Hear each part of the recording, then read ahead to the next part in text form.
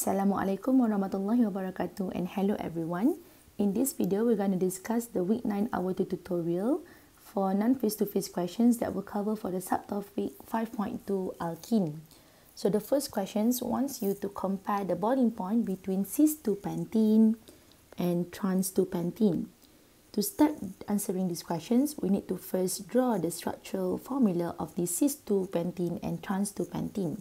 So by having the knowledge we have learned in chapter 4, we could say that cis and trans have different arrangement in terms of the uh, the group that attach to the each carbon. So we're going to have pentene with five carbons altogether. So we are going to focus on the carbon-carbon double bond and then attach to it. Let's say we want to have the cis to pentene means H here must be on the same side and the rest of the alkyl group gonna be down here. It can it can be either ups or downs as long as they are on the same side. So CH2 CH3 so this is our cis2 pentene and we could see that the in the double bond at carbon number 2 so the numbering starts from here. While for the second one we have trans 2 pentene. It the same group gonna be on the opposite side. So we have the C double bond C attached to it H and the other one gonna be H. So we're gonna have our CH3 here and another CH2CH3 down here. So this is our trans 2 pentene. Again the carbon that holding the double bond is at carbon number 2 that's why the name is 2 pentene. Indicate the locations of the functional group now, why there's difference in boiling point of cis and trans isomer? When we say boiling point, we are talking about the intermolecular forces. Okay, let's recall how many types of intermolecular forces we have learned. We have hydrogen bond, we have dipole-dipole forces, and last one we have London forces. But from this compound of pentene, we could see that we got no hydrogen bond directly attached to either fluorine, oxygen or nitrogen. So means that hydrogen bond is disqualified from our selections. We are left with dipole-dipole and also London forces. So how do we determine whether which of these compound got dipole-dipole and London forces?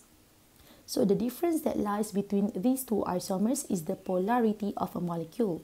So when we learn about polarity, we need to denote the polar arrow to indicate the polarity of the molecules. So now we're going to indicate the polarity by using the partially positive and partially negative. So we are going to focus on the carbon-carbon double bond here because we have abundance of electrons means they're going to hold the partially negative side. So this is going to be partially negative, partially negative means that the CH3 also have electrons but they have less electron than the carbon-carbon double bond. They will have a partially positive side. This is partially positive and partially positive.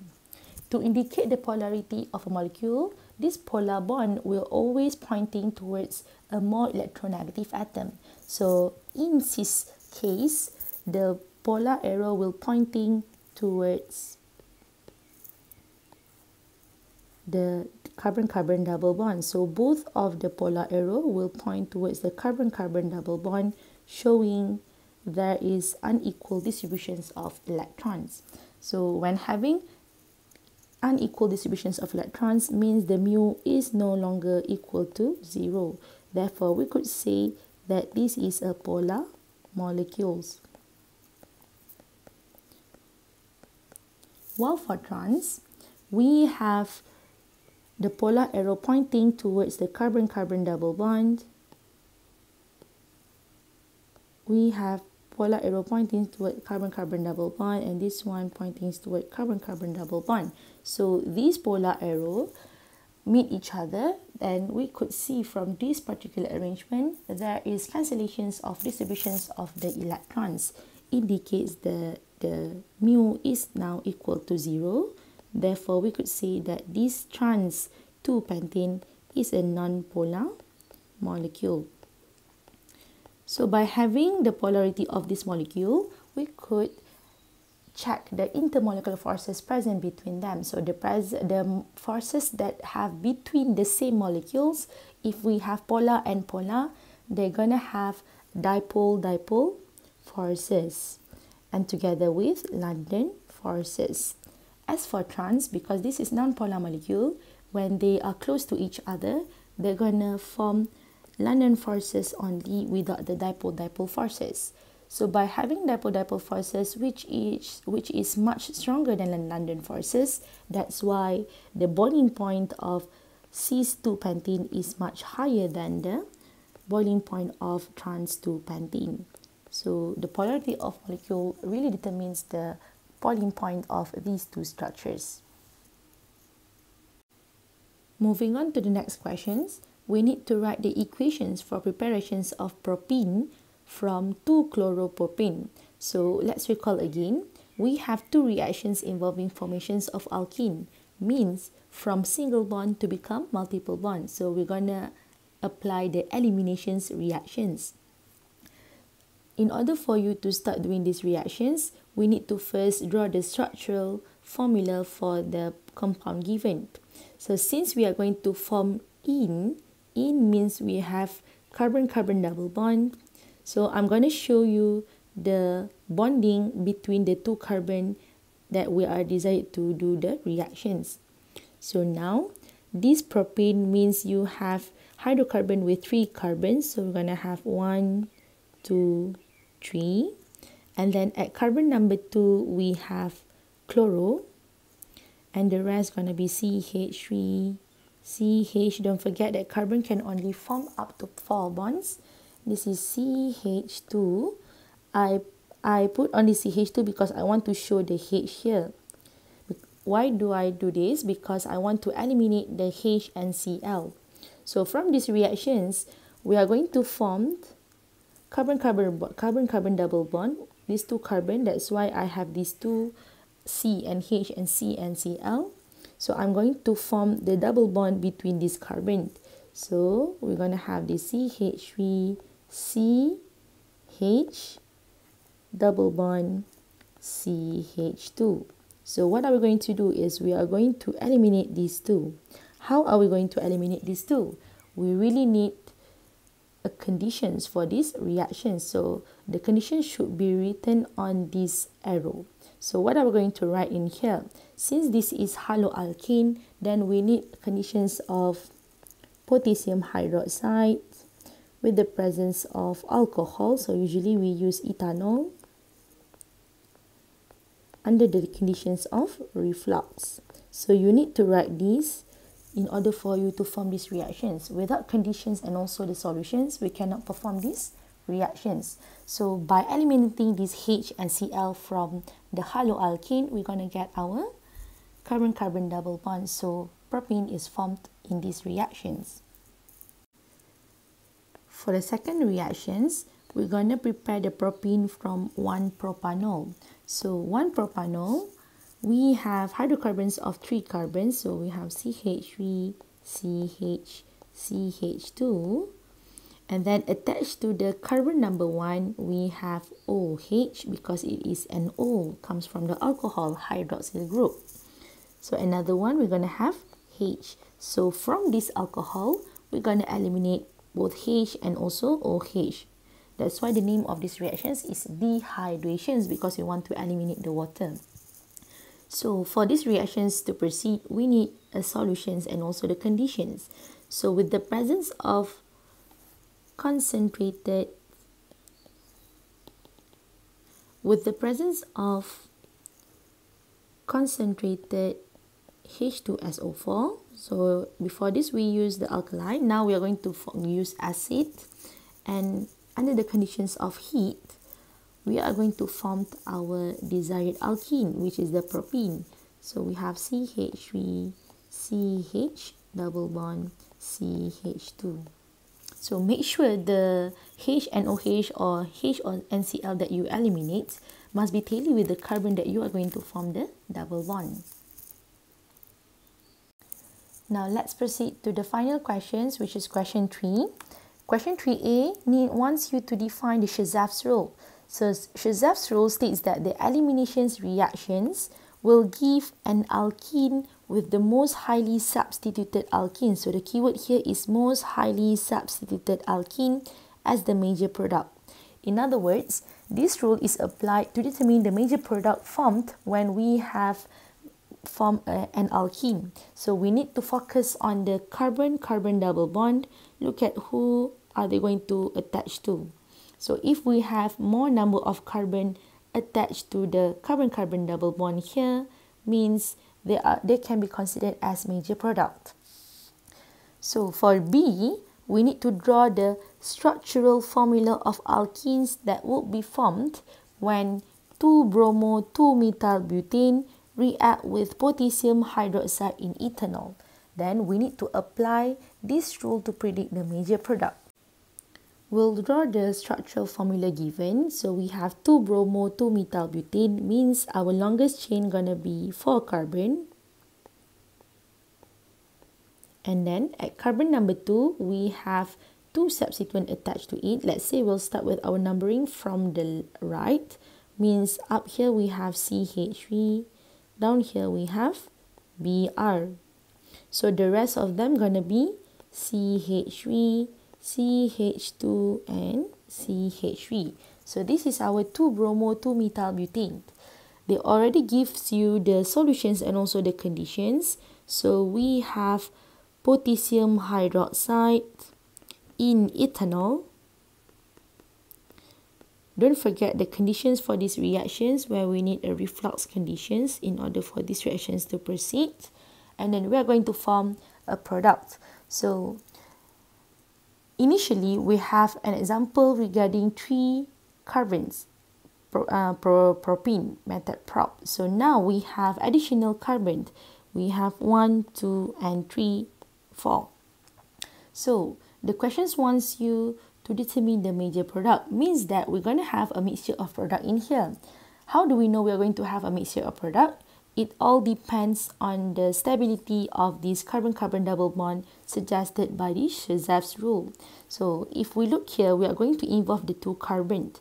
Our first uh, our first product gonna take the first two carbons here to form double bond. So we have another possibility where we could form carbon-carbon double bond here. How do we know that we can have two possibilities? Because the eliminations of hydrogens, because this is haloalkane, we are going to eliminate H and also X. We know that X will comes from this carbon, means the hydrogen will be eliminated from the neighboring carbon.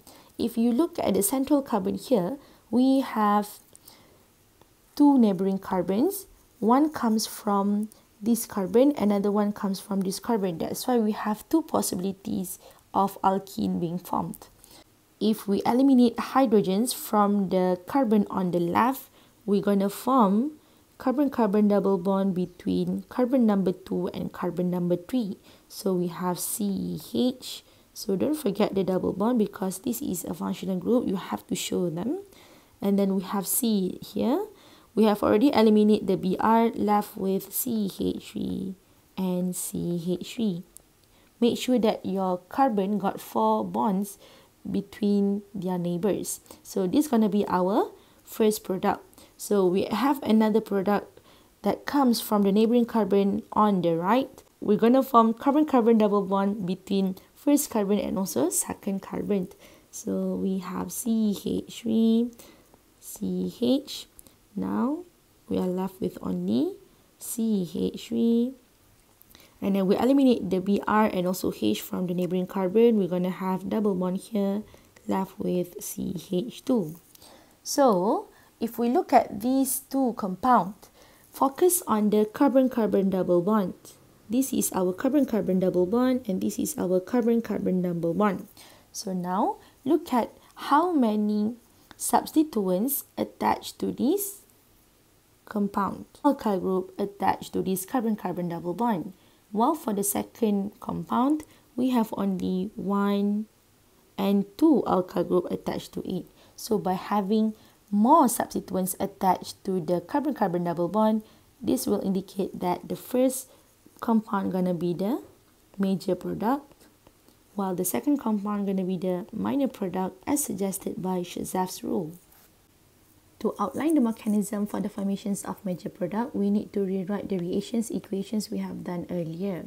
So since these reactions is called as dehydrations of alcohol, means we are going to remove H and OH and this will involve two carbon. So OH will be eliminated from this C while the H will either comes from this H or this H. It all depends on the stability of the intermediate species that we are going to form after this.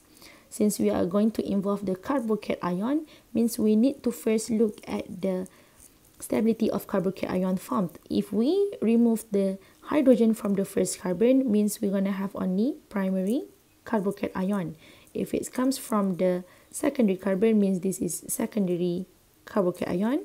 If it comes from this hydrogen at carbon number 3, it will have tertiary carbocation. So we need to consider to make it to become tertiary carbocation if possible because we want this major product. So the first step for mechanism is called as protonations of alcohol. During these steps, we're going to make this alcohol comes from the OH become a positive charge. So we need to first write our structure. So 1, 2, 3, 4 and 5. So we're going to make this OH become more positive. How do we do this? We'll see after this. Since the reaction suggests the reaction with concentrated H2SO4, then we're going to react with this H2SO4. But please draw it like this because we want to show the breaking of bond. So one of them will become the nucleophile. Then we're going to take we're going to donate this lone pair to the H and break the bond between this H and O because H is a duplet. They cannot form two bonding. Now we're going to get the product of 1, 2, 3, 4, and 5. So we have our O now has lost one of its lone pair but got the H. And if we count the formal charge on this O, they're going to be positive. While for OSO3H, they got all the electrons, means they're going to form negative charge because they got extra electrons. Okay, that is for the first step. We have formed a protonated alcohol. As for the second step, we're going to do the formations of carbocation. So step 2 involve the formations of carbocation. So we know already this positive and negative charge can only be formed from the heterolytic cleavage. Means you need to look at the carbon that has polar bond with something else. So from this structure, we have only the C and O. So we are interested to form our carbocation from this bond. So 1, 2, 3, 4, and 5. We have OH2 up here together with the positive charge. So now we are interested in this carbocation. So this is partially positive and partially negative. So heterolytic cleavage will happen in here and all the electron on this bond will be transferred to this O making our carbocation of these from this structure. So we have here and then we have remove water. In other words, we have removed the OH from our compound. So this is going to be our positive carbocation. So initially, we have secondary carbocation to start with. From this carbocation, we have the possibilities to form double bond with these two neighboring carbons so here and here. Look at these the look at the neighboring carbon at carbon number 3 they got more alkyl group attached to it. So if we have the possibilities to form a more stable carbocation then we have to go for this rearrangement so rearrangements can be denoted by using this arrow so we have two types of rearrangement one is one to hydride shift Another one is 1 to methanide shift. when we say methanide and hydride, they are all H and also CH3 that attach to that particular carbon. Which carbon? The neighboring carbon. So, how do we know that they are 1, 2? 1, 2 doesn't mean that they comes from carbon number 1 and carbon number 2. They are mainly next to each other. 1, 2 means next to each other. They are not far apart. So, so we are going to determine what kind of shift are we going to form in order for you to make this carbocation a more stable carbocation. So by shifting to the left, so we need to look at this third carbon. We have one methyl and then we have here H. Okay, so if we got no other bonding here means they belongs to H. So we want to swap place with this carbocation. So we have both hydrogen and also methyl So which of those gonna be swapped with this carbocation. So if we have hydrogen present on the neighboring carbon, even though they have both, always go for the hydrogen, for the hydride shift because for methanite to be shifted, they require more energy. It is very hard to swap place with the big group. So now we're going to shift the hydrogen with the carboxyl ion. So how are we going to show this shift? the shift do not comes from the H, they comes from this bond. So from the bond, we are going to show the curly arrow. So this curly arrow doesn't mean they are going to cleave the bond. They are going to swap place only. So show it to here. By doing this, the carbocation will swap place. So we're going to get a new compound with carbocation at the central, at the third carbon. So we're going to have our carbocation here. Alright, so H will will go here lah. So we have this H. You don't need to show this because it's a skeletal structure. So you need to mention what kind of shift have you done. So we have done 1, 2 hydride shift.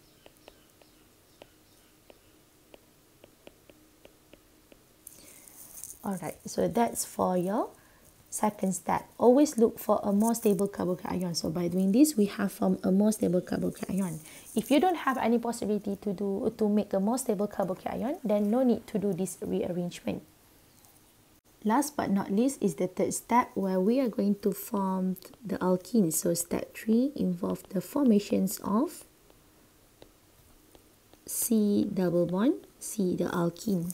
So we have to rewrite our compound 1 2 3 4 so here we have our carbocation in here so this is an electron deficient species in order for this compound to form alkene we need a more electron rich species to attack so since we have used acid catalyst means we are going to regenerate the acid catalyst by taking the OSO3H we have formed earlier to become the nucleophile in these steps.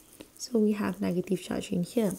So we want to form the double bond means that we are going to remove another H. So this H will comes from the neighboring carbon of this carbocation. So if we look here, we have two neighboring carbons, one, two, another one is three. So we have three possibilities. If we take the hydrogens from the from these carbons, we are not going to get a major product. Because the double bond formed in here will only have two alkyl group attached to it. So we cannot take the hydrogen from this carbon. So then look at the other two carbon, they have got the same environment. So you are free to choose whether you want to take the hydrogen from the right or from the left. Only one because we want to eliminate H only, one H. So let's take the carbon from the right to become the carbon-carbon double bond with this carbocation. So we need to show the bonding between this carbon and hydrogen because we want to show the mechanism. So this lone pair on this oxygen will take this H and then this bond will break. They will break not to give to the carbon but they want to give to the single bond between C and also this carbocation. So we are going to take the curly arrow from here to give it here. And lastly, we're going to get our major product of 1, 2, 3, 4. So we have here this is our double bond. So this is the mechanism for major product involving the three steps. We'll proceed to the final questions for this tutorial where we need to define the Markovnikov rules. So Markovnikov rule states that in additions of HX to alkene, hydrogen atom adds to the carbon atom of the double bond that has greater number of H atoms.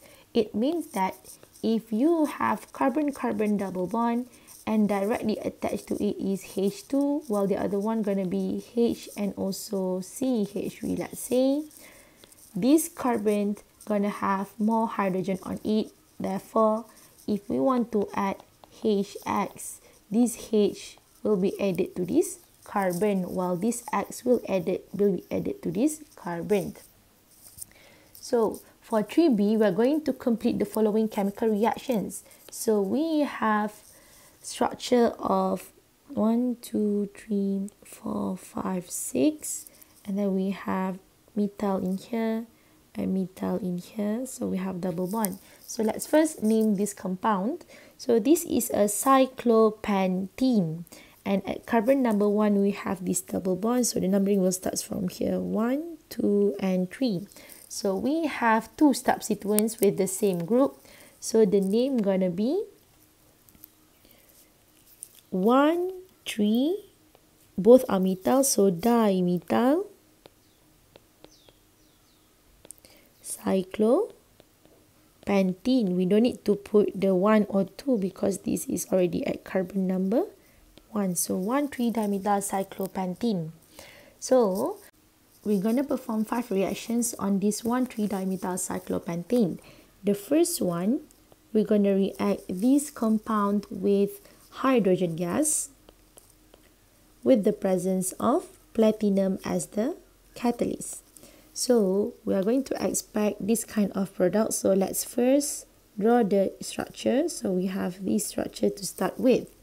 Once the bond is broken, then hydrogen will be added to both carbons. So we're going to have hydrogen on the first carbon together with the second carbon. So this is our product when react with hydrogen gas. Next, we have bromine gas react in water. So this reaction is called as halogenations in water. Since we have two different atoms to be added, then we need to apply the Markovnikov rules. Initially, the Markovnikov rules emphasize the hydrogen atom, but since we got no hydrogen atom to be added to this 1,3-dimethyl cyclopentene from these reactions, we're going to apply the same rule for this Br. Means Br will follow the Markovnikov. So we're going to rewrite the structure of this compound. So 1, 2, 3, 4. So we have this to start with. The Br will follow the Markovnikov rule. They will go to carbon with more hydrogen while OH will take place here at the first carbon. For the third reactions, we have a reactions of chlorine. So we have chlorine gas react with this 1,3-dimethyl cyclopentene in CH2Cl2. CH2Cl2 is a common inert solvent used for any of these reactions. So because this is an inert solvent, means they won't take place in these reactions, only the Cl. So both Cl will be added to both carbon. So our product gonna be like this. So both carbon will have Cl on them. And then for the fourth reactions, we have reactions of HBr with nothing on this arrow means they are being conducted in inert solvent. So inert solvent means we're going to add H and also Br. So these reactions called hydrohalogenations will follow the Markovnikov rules. So simply rewrite our structure like this. And then H will attach to the carbon with more H on it. And the Br will be added to the first carbon. And last but not least, we're going to react this 1,3-dimethyl cyclopentene with water. So this time around, not just water, but water in acidified solution H plus.